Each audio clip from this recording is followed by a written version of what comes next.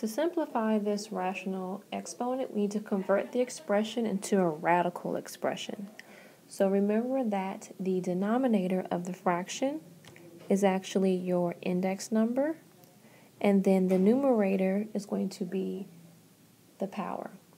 So we're going to have the square root of 25 raised to the first power. But we don't have to write this 1. And remember, a square root actually has an invisible 2 here. So this is actually just the square root of 25. And we know that 25 is a perfect square. The square root of 25 is 5. Okay, here we have 9 over 16 all raised to the 1 half.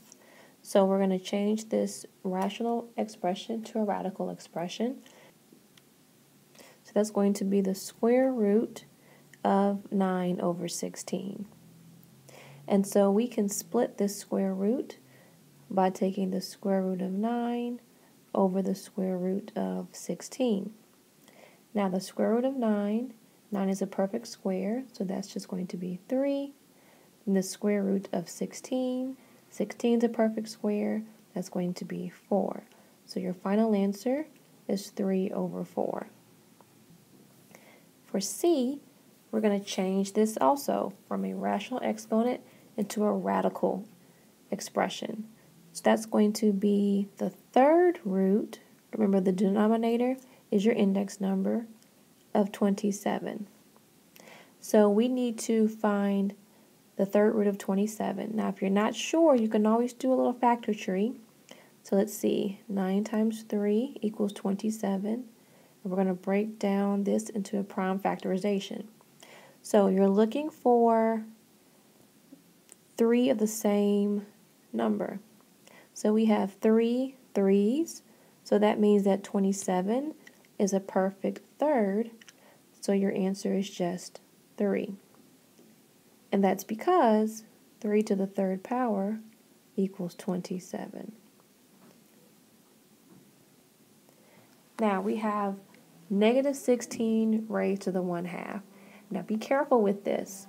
If you notice, the base of the 1 half is just the 16. It does not include the negative. So when we rewrite this into a radical expression, that's going to be negative times the square root of 16. And you'll see in a second how that's different from something else. So the square root of 16 is 4. But then don't forget this negative here. So your answer is negative 4. Now, looking at the next, we have parentheses around negative 64. That's to let you know that negative 64 is your base. So, we want to say the square root of negative 64. Now, you cannot have the square root or any even root of a negative number. That's going to take you out of the real number system.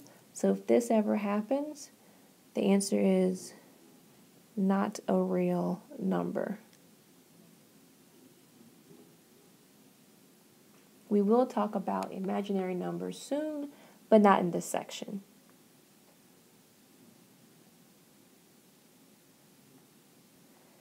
Okay, now let's look at this one. So we're going to change this to a radical expression.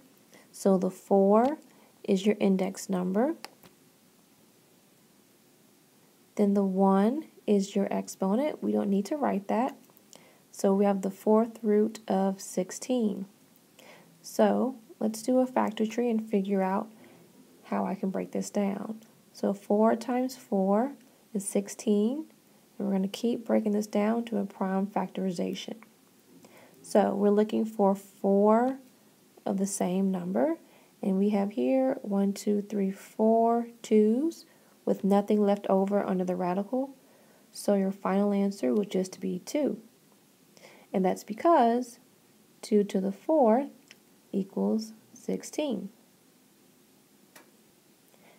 For this one, we have a negative exponent. So before we convert into a radical expression, we want to make our exponent positive. And so to make the exponent positive, we're going to move it to the bottom of the fraction. So if we move it, we're going to have a 1 at the top. So it's 1 over 49 to the positive 1 half. So now we can rewrite this into a radical expression. So that's 1 over the square root of 49. And the square root of 49 is 7, so our final answer will be 1 over 7.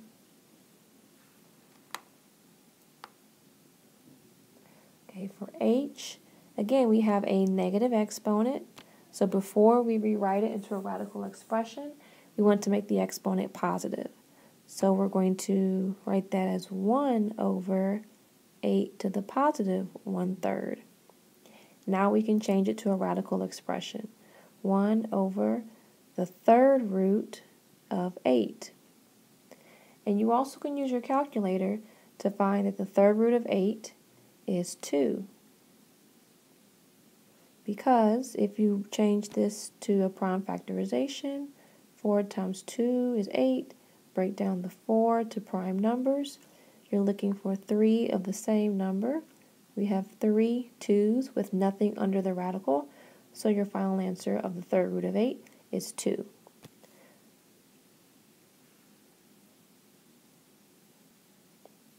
Now here, we have negative 8 as your base raised to the negative 1 third. So let's first deal with this negative exponent. We want to make this positive, so we're going to say that's 1 over, the base is still negative 8. Moving it doesn't change the base's sign, but it changes the exponent sign, positive 1 third. So now we're going to change this to a radical expression. 1 over the third root of negative 8. Now, before I said you can't have an even root of a negative number, but 3 is an odd number. We can have an even root of an odd root. So, that's going to be just negative 2. So 1 over negative 2 is your final answer. Because negative 2 to the third power would be negative 2 times negative 2 times negative 2. Well, negative 2 times negative 2 is positive 4 times negative 2 is negative 8. So that can't happen. So your final answer of our original problem is 1 over negative 2. Or just negative 1 over 2.